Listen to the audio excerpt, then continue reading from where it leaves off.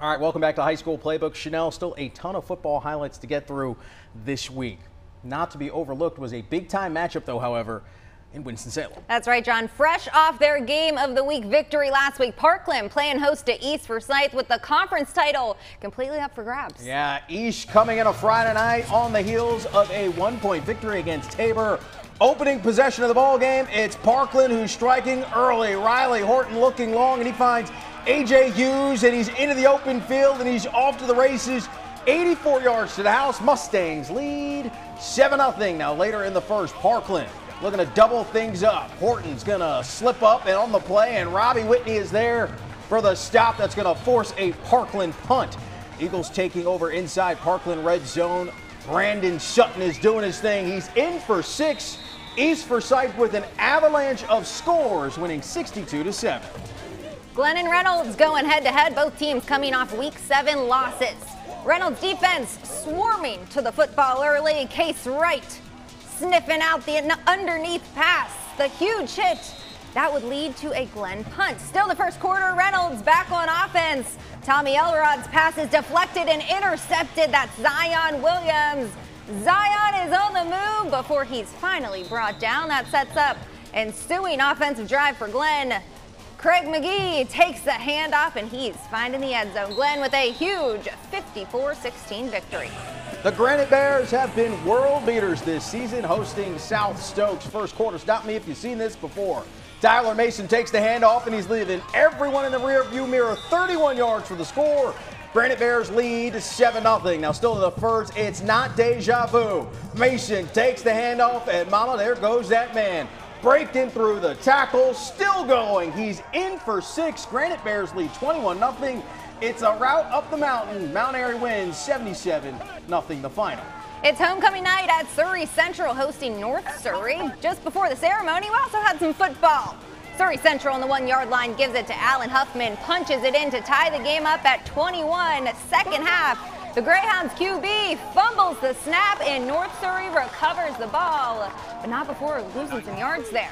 Three minutes left in the third. First down. North Surry fakes out the cameraman. Handoff to Jake Simmons. He fumbles, but don't worry.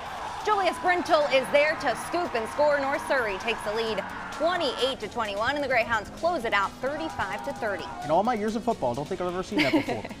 Some more scores to look at. Eastern Alamance with a 63-10 victory and North Forsyth with a shutout over Walkertown 23-0 there. More scores. Reidsville took down West Stokes 49-8 and Southwest Guilford edges out Southeast Guilford in an OT thriller 26-20.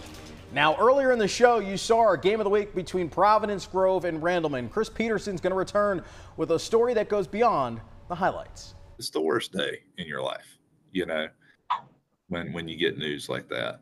Your heart breaks. That's how Randleman head football coach Shane Timmons described the day he found out his nearly two-year-old daughter Ophelia had a brain tumor.